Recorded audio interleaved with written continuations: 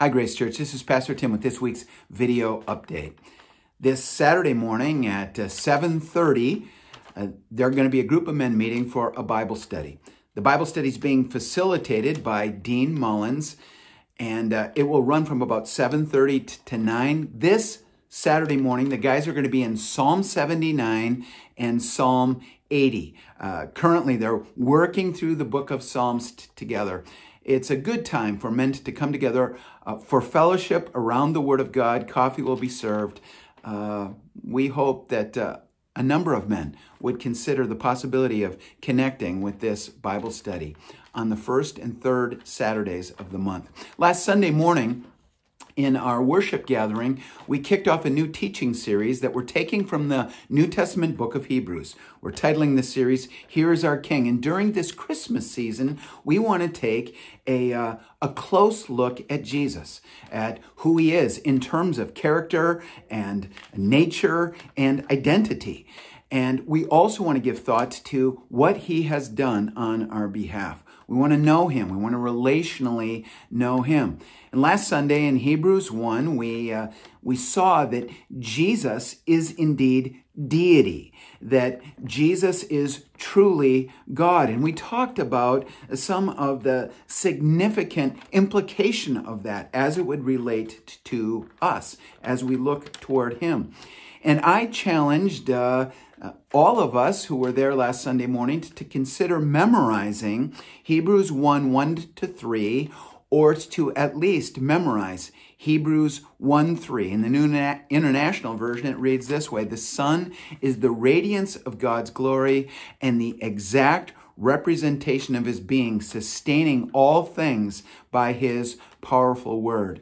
After he made purification for sins, he sat down at the right hand of the majesty in heaven. Um, just a wonderful passage about that part of Jesus' nature, that he is truly God. Now, this coming Sunday, we're going to be looking at Hebrews chapter 2, where uh, the, the focus of Hebrews 2 is that he was authentically human. It's not a contradiction. Uh, Jesus was truly God and authentically human fully God, fully man. He's the most unique person who has ever lived in all of history.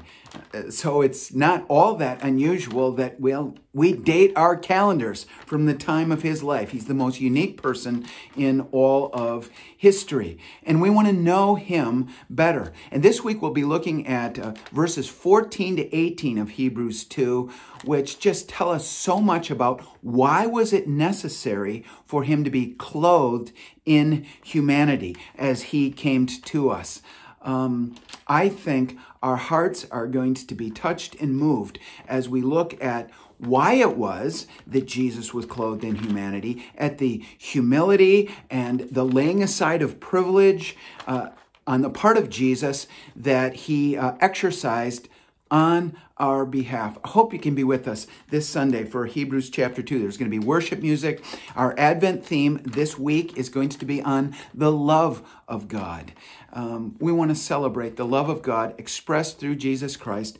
Uh, I hope you can be with us this Sunday. Now, this Sunday evening, there's going to be a faith sharing workshop. It's going to be in the youth room. It's being facilitated by Noel Segan. I think this is going to be a valuable time. It's uh, scheduled to begin at 6:30 this Sunday evening, and here are uh, here's kind of the outline for this Sunday evening. What does biblical sharing look like? What is the gospel in terms of the details?